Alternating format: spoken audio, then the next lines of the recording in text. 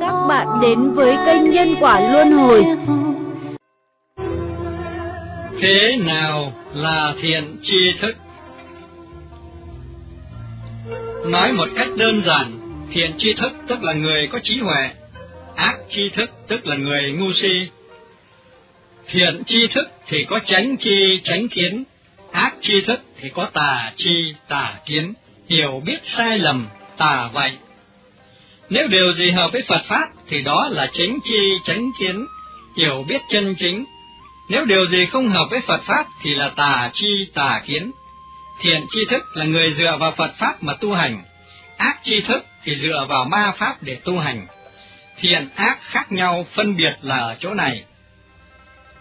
Bậc thiện tri thức thì dùng tứ nhiếp Pháp để giáo hóa chúng sinh. Thế nào là tứ nhiếp Pháp?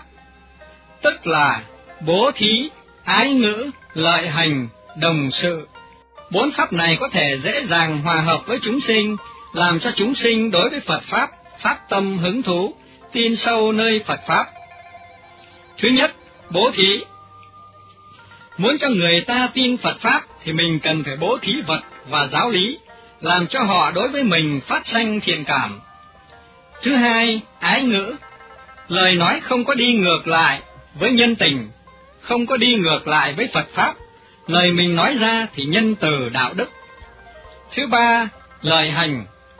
Lời nói, hành động và suy nghĩ tùy duyên tu hành khiến chúng sinh được lợi ích. Thứ tư, đồng sự. Đối với những chúng sinh đáng được độ thì làm công việc giống như họ để giáo dục họ. Đó là bốn pháp giúp mình gây thiện cảm và tín nhiệm đối với chúng sanh. Nếu lời nói mình nhất trí với hành động vì lợi ích chung không vì riêng tư, lấy thân làm gương, gặp chuyện nghĩa thì dũng mãnh mà làm. Như vậy, chúng sanh tự nhiên sẽ tin ở lời nói của mình, và cũng tin rằng Phật Pháp chính là con thuyền thoát khỏi biển sanh tử. Các bạn tới đây để nghe giảng kinh thuyết Pháp, mỗi vị ai cũng là bậc đại tri thức. Các bạn nên hiểu rằng, Bồ Đề tự tánh xưa nay vốn thanh tịnh, xưa nay thanh tịnh nghĩa là không có tạo lập một thứ gì, cũng không bị nhiễm ô bởi một thứ gì. Bồ đề tự tánh này chẳng cần tạo tác thêm, vốn hiện tiền như vậy, vốn đầy đủ xưa nay. Bồ đề tự tánh này cũng chính là Phật tánh, điểm này xin các bạn đặc biệt chú ý. Mỗi người, ai ai cũng có Phật tánh giống hệt như của Phật vậy, chẳng gì khác biệt.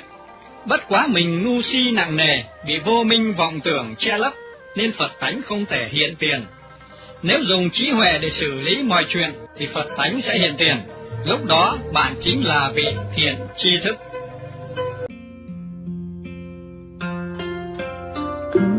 ha ha ha, 问三摩地所呵。